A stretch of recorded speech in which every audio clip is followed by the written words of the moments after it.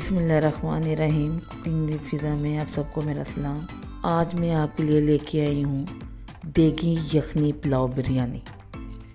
आप देख सकते हैं कि देखने में तो बहुत ज़्यादा मज़े की लग ही रही है, लेकिन ये बनाने में भी उतनी ही ज़्यादा मज़ेदार है। इसके कुछ मैं आपसे टिप्स एंड ट्रिक शेयर करूँगी। अब हम चीज़ें नोट कर लेते हैं कि हमें इसके लिए क्या क्या चाहिए। यहाँ पे आप देख रहे हैं कि मैंने एक गिलास लिया, उसमें मैंने चावलों को माप कर लिया मैंने। ये गिलास आधा किलो चावल बनते हैं। अब तो आधा किलो मैंने चावल लिए हैं तो आप कोई किसी भी चीज़ में माप कर सकते हैं, फिर उससे हम पानी का सिस्टम देख लेंगे। अगर एक गिलास हमने चावल लिए या डेढ़ गिलास तो तीन गिलास फिर पानी डलेगा, उससे डबल ये देखें यहाँ पे, मैंने चिकन भी आधा किलो लिया है, आप अपनी मर्ज़ी के मुताबिक भी चिकन ले सकते हैं। एक मैंने प्याज लिया है ये देखिए मैंने काट लिया उसको और लहसुन लिया मैंने दो चम्मच, अदरक लिया, हरी मिर्च मैंने कूट के रख ली। यहाँ पे ये मैंने बिरयानी मसाला लिया है। लाल मिर्च है, गरम मसाला है और काली मिर्च है। और यहाँ पे ये आप देख रहे हैं दाल चीनी है, बड़ी इलायची है हाँ जी, और ये काली मिर्च है, लौंग है और सब्ज़ इलायची है दो और साथ है जरदरा तो यहाँ पे हम चिकन को नमक लगाएँगे। नमक मैंने आपको इसलिए नहीं वहाँ पे बताया कि पहले ये चिकन को नमक लगेगा। ये लहसुन, अदरक और हरी मिर्च का पेस्ट, ये मैंने साथ ही चिकन में मिक्स करके एक साइड पे मैं रख दूँगी। ये देखें ये मिक्स कर रही हूँ मैं। आपने अच्छी तरह नमक लगाना है। साथ ही आपने लहसुन, अदरक और हरी मिर्च का पेस्ट भी लगा के आपने चिकन को एक साइड पर रख देना है। तो यहाँ पर अब हम शुरू कर लेते हैं। बिरयानी की तैयारी कर लेते हैं हम यहाँ पे। ये देखें मैंने घी डाल दिया है। हाँ जी, यहाँ पे मैं घी डाल रही हूँ। देसी घी डाला मैंने, आप कोई सा भी ऑयल ले सकते हैं, आपकी मर्ज़ी है। अच्छा जी, यहाँ पे हमारा जो घी मेल्ट होगी फिर हम वो सारे मसाले हैं जो, वो डाल देंगे, साथ में प्याज डाल दूँगी। और अब इस प्याज को हम फ्राई करेंगे जब तक ये ब्राउन नहीं आता।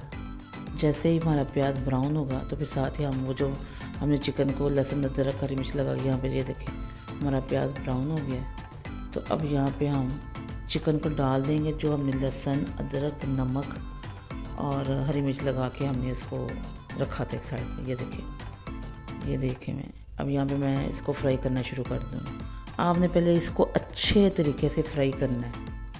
ये इसका मेन जो ट्रिक है इसका यखनी, पुलाव बिरयानी का, कि आपने ब्राउन करने के बाद चिकन को अच्छे तरीके से भूनना है, लहसुन के साथ, अदरक के साथ और हरी मिर्च के साथ, और साथ नमक तो लगा हुआ है। आपने नमक एंड में जाकर चेक करना, ये हमने पहले लगा लिया तो आपने नमक नहीं डालना। ये इसकी मेन चीज़ है जो आपने भूनना है। इसी से पूरी जो पुलाव है, बहुत ही मज़े का जायका आएगा फिर मसालों की खुशबू तो निकलेगी। ये देखें, यहाँ पे मैंने नमक को थोड़ा सा चेक किया है तो अभी तो नमक बिल्कुल अच्छा लगा हुआ तो इसका मतलब चिकन में भी जाएगा, और जो फ्लेवर है, वो लहसुन के, अदरक के और हरी मिर्च का और नमक का बहुत अच्छा ये टेस्ट आएगा। जब आप खाएँगे तो वो बोटी में बड़ा अच्छा टेस्ट आएगा। हाँ जी, ये देखें यहाँ पे मैं भुनाई कर रही हूँ इसकी। अच्छे तरीके से भुने, अभी तक मैंने इसको पानी नहीं लगाया। पानी लगाने की ज़रूरत नहीं है। पानी तब भी लगाना चाहिए जब ज़रूरत पड़ती है। बस आपका नीचे नहीं लगना चाहिए। हाँ जी, इसको आप फ्राई करें। आप फ्राई करते जाएँगे, अच्छे तरीके से आपने इसकी भुनाई करनी है। ये देखें मैं आपको भूनते हुए दिखा रही हूँ। हाँ जी, ये ये देखें ये मैं मुसलसल चमचा चला रही हूँ।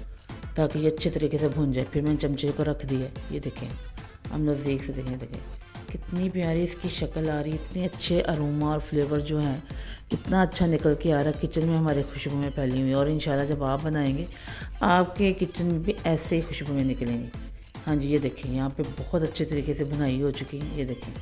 अभी भी मैं भून रही हूँ। ये देखें। इसका मेन काम यही है। ये इसका मेन ट्रिक है आपने।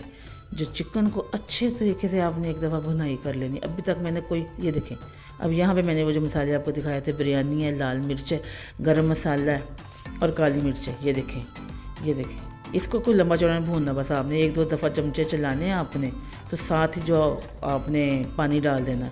मैंने आधा किलो चावल लिए थे, डेढ़ गिलास हुआ था तो मैंने तीन गिलास पानी के डाले ये देखें आपने अपने हिसाब से ले लेना। ये देखें यहाँ पे। ये मैं अच्छे तरीके से सारा मसाला इसके अंदर कर दूँगी। ये देखें ये हमारा पानी डल चुका है। तो यहाँ पे मैं इसको 10 मिनट के लिए वो प्रेशर लगा दूँगी। ये देखें पुदीना था। पुदीना भी मैंने साथ डाल दिया। ये देखें यहाँ पे मैंने प्रेशर लगा दिया दस मिनट का। आपने ना भी लगाना हो तो कोई मसला ना वैसे ही यखनी बना सकती अब यहाँ पे यखनी निकलेगी दस मिनट में। और साथ ही फिर मैं, मैंने फिर ये जर्दा रंग जो है मैंने कहा इसको भी मैं बना के रख लेती हूँ एक साइड पर जब तक हमारा प्रेशर लगा हुआ है। तो ये वाला काम तो मैं कर लूँ। हाँ जी। ये देखें यहाँ पर ये हमारे दस मिनट हो चुके हैं तो ये मैंने प्रेशर खोल, ये देखें हमारी ये यखनी हो चुकी है, हमारा चिकन भी अच्छे तरीके से गल चुका है, ये देखें आप, ये देखें बहुत ही अच्छा खुशबू, यहाँ पूरे किचन में खुशबू फैली हुई है तो मैं तो कहती हूँ आपके महल्ले में भी फैलेगी खुशबू, मेरी भी फैलती, मुझे भी पूछते हैं भाई क्या बात है, बड़ी खुशबुएँ आ रही, ये देखें जी, अब यहाँ पे मैं चावल को डाल रही हूँ, आप भी, ये देखें बहुत अच्छी खुशबू आ रही है और देसी घी का तो क्या ही बात है। आप घी ले सकते हैं ऑयल ले सकते हैं, आपकी मर्ज़ी कुछ भी ले सकते हैं। ये देखें जी यहाँ पे मैंने चावल डाल चुकी हूँ। अब यहाँ पे हम पकने देंगे चावलों को, ज़रा थोड़ा सा एक बॉयल आ जाए। तो ये मैंने बॉयल आ जाए, इसलिए मैंने ढक्कन ऊपर लगाया है। ये देखें जी, अब हमारे चावल जो है ना पकने शुरू हो गए। यही मेन एक टाइम है आपकी पूरी मेहनत। ये यही ट्रिक है। ये वो पहला था, ये दूसरा है कि चावलों को बड़ा देख के आपने देखना कि कहाँ पे जाके इसको आपने दम देना। ये देखें आप। अब देखिए, चावलों में हल्का हल्का पानी रहना चाहिए। ये देखें आप, ये मैं चावलों को हिला रही हूँ। ये देखिए आप थोड़ा थोड़ा पानी है। यहाँ पे आपने ढक्कन बंद कर देना, यहाँ पे। हाँ जी। उसके बाद आपने 10 मिनट का दम लगाना है। तो मैं पाँच मिनट के बाद खोल के इसमें ज़रदा रंग और वो डालूँगी, पुदीना। अभी जब तक, मैंने वो दम लगाया हुआ है तो यहाँ पे मैंने कहा मैं दही बना लूँ। मैंने खीरा डाला है, हरी मिर्च डाली थोड़ा सा पुदीना डाला है। हाँ जी तो यहाँ पे मैंने हरी मिर्च डाली है तो ये मैंने रायता बना लिया है। खीरे का रायता मैंने बना लिया। आप अपनी मर्ज़ी से कुछ भी ऐड कर सकते हैं, प्याज भी ऐड कर सकते हैं, ये देखें, यहाँ पे मैंने दम खोला है। अभी ये तकरीबन आठ मिनट हुए हैं। तो ये दो मिनट पहले मैंने दम खोला, ये देखें। अब यहाँ पे मैं ज़रदा रंग डालूँगी और साथ में पुदीना डालूँगी। आपने भी ऐसे ही करना है। ये देखें, इसके बाद आपने ढक्कन को बंद करके, आँच तेज़ करके फिर पूरी वो एक भाप बना लेनी है। बना लेनी है तो फिर आपने दम खोलना है। ये देखें, ठीक तीन मिनट के बाद मैंने दम खोल दिए ये मैंने आपको इकट्ठा ही दिखा दिया, इतना तो आप, फिर आपको पता चल ही जाएगा, मैंने आपको बता दिया।